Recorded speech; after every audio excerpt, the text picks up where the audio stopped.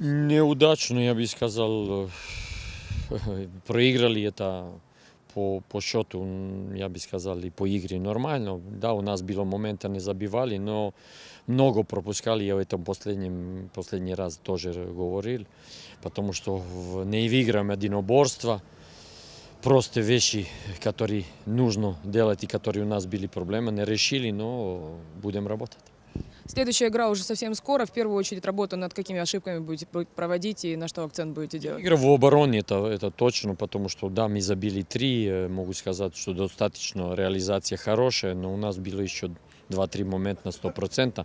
Не забили, я бы сказал, что они забили почти все, что, что могли, но были наши ошибки, и это просто я бы, вещи, это не были комбинации, которые они разыграли, но это длинные, и это, которые можно обороняться, и которые нужно, нужно нам работать.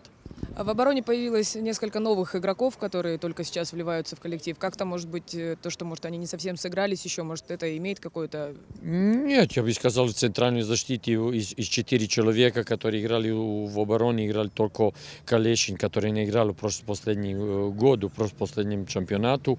И я не, не бы сказал, это соигранность, но это проблема, которая у нас есть, которой нам нужно работать.